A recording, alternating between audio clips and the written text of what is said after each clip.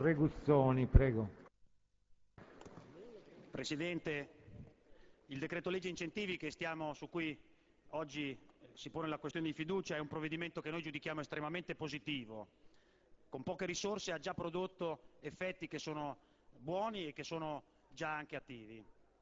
Chi viene dal mondo dell'imprenditoria sa che la crisi però è talmente forte che non esiste che un, un provvedimento che da solo può risolvere i problemi che abbiamo davanti. I fatti anche di cronaca degli ultimi giorni e delle ultime ore impongono una riflessione più ampia sull'economia e sull'Europa. La Lega è nata è, è con una generazione che è entrata in politica quando crollava il muro di Berlino. Avevamo un sogno europeo di un'Europa dei popoli, un sogno di fratellanza europea, un sogno proprio di tanti federalisti, da Catania a Olivetti, da Spinelli a Proudhon, da Miglio a John Stuart Mill. Avevamo questi sogni ma ci sono stati dei burocrati con le vecchie ideologie che hanno cercato di rovinare questi sogni. L'unione monetaria porterà stabilità e crescita costante? Giuliano Amato. Stabilità economica è la base della crescita di tutti gli Stati europei. Padova Schioppa. L'euro scongiura pericoli di crolli e instabilità. Romano Prodi. Oggi un paese con meno del 3% del PIL mette in crisi tutta l'architettura burocratica e monetaria che avete costruito. Ebbene, uno potrebbe pensare avete rovinato un sogno. Questa non è l'Europa che la Lega vuole, questa è un'Europa dei mercanti, dei banchieri, dei burocrati. La Lega non ci sta. Solo Bossi aveva capito tutto da subito e l'aveva detto inascoltato più di dieci anni fa. Noi forse saremo gli ultimi idealisti, ma con pragmatismo invece vogliamo batterci perché crediamo e, e crediamo nella possibilità di realizzare un qualche cosa di meglio, un mondo e un'Europa che sia più giusta e più consona a quelle che sono le aspettative di tutti noi. E le questioni che noi poniamo al governo ma anche all'opposizione sono tre. Noi vogliamo salvare la produzione manifatturiera nel nostro Paese, vogliamo un Paese e un'Europa democratica e federalista e vogliamo tutelare i lavoratori. Vedete, per esempio, la produzione manifatturiera. Noi riteniamo che sia fondamentale che un Paese non possa vivere solo di terziario. Noi vogliamo continuare a produrre, non vogliamo lasciare solo alla Cina la produzione industriale e artigiana. E su questo le convergenze si trovano. Abbiamo fatto, la Lega e ad esempio Lulli, un emendamento identico, accolto dal Governo, che ringrazio per questo, per tutelare la produzione tessile made in Italy. Ebbene, su questi argomenti si riesce a trovare un'intesa. Ma noi vogliamo anche un'Europa e un Paese federalista e democratico, non vogliamo dei, dei settori autoreferenziali, non vogliamo la logica di Basilea 2 dove dei banchieri autonominatisi e autoreferenziali impongono scelte a milioni di imprese e di cittadini di tutta l'Europa.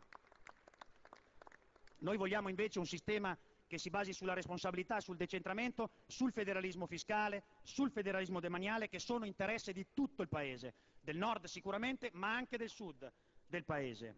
Bene il governo che cerca di uscire da queste logiche, bene Ministro Tremonti la volontà di rivedere gli studi di settore, la Lega lo chiede con forza, andiamo avanti in questa direzione. E poi vogliamo, noi vogliamo tutelare i lavoratori, innanzitutto difendendo il lavoro, valorizzando le capacità, la professionalità, premiando il merito, pensando a dei contratti territoriali che tengano conto finalmente dei diversi costi dei diversi paesi dell'Europa e nelle diverse regioni del nostro Paese. Crediamo anche che sia possibile tutto questo. Oggi sul Corriere della Sera Sergio Romano scrive non è possibile continuare a, con formule che hanno incoraggiato gli sprechi, la burocrazia parassitaria, l'economia clientelare.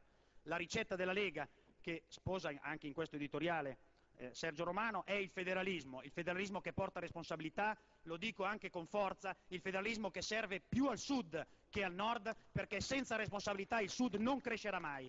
È la logica, ai, guardo i colleghi dell'Udc, di 150 anni di politiche industriali che hanno sbagliato altri, ma che la Lega non vuole riproporre, perché solo con un federalismo e con una crescita responsabile noi siamo in grado di far crescere il Paese. Da vent'anni Umberto Bossi e la Lega dicono queste cose. Oggi però ci sono le basi, come abbiamo dimostrato, perché ci siano convergenze. Sono contento personalmente ho molto apprezzato che il primo atto del segretario Bersani sia stato parlare all'interno di un'azienda che produce in Italia la manifattura, perché è solo così, solo partendo sulle cose concrete che possiamo dare a questo Paese le riforme che servono. Se vogliamo andare avanti dobbiamo trovare un'intesa su questi tre punti, sulla produzione, sul federalismo, sulla tutela del lavoro. Io credo che sia dovuto, ma non è assolutamente di forma, ma è di sostanza, un ringraziamento anche a questo Governo, all'impegno del Presidente Berlusconi, del Ministro Tremonti, alla capacità di tutto il Governo di prestigio internazionale e di rigore.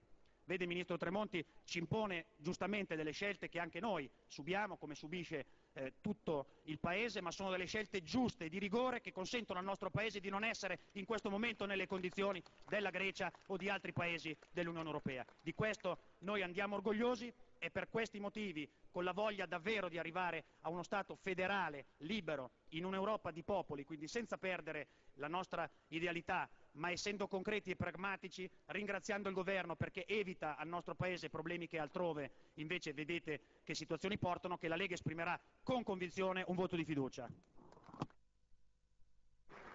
Grazie.